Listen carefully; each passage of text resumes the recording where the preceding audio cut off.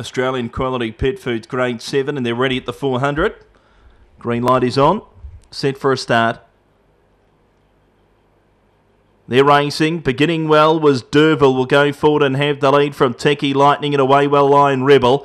Just behind these was Wendy Lou, pushing away clear of the inside. Creative news from Blue Hawk Bay. Then Techie Cloud, Techie Cloud and Bounding Buddy into the straight. First for home was Lion Rebel, the Blue Dog, out by a couple of lengths, running on the inside. Creative news. It's Lion Rebel clear though. Lion Rebel went on to beat Creative News and Derville from Wendy Lou, who ran fourth. Techie Lightning next across the line from Techie Cloud. Well back Blue Hawk Babe and Bounding Buddy at the tail. 23 and 02 the run.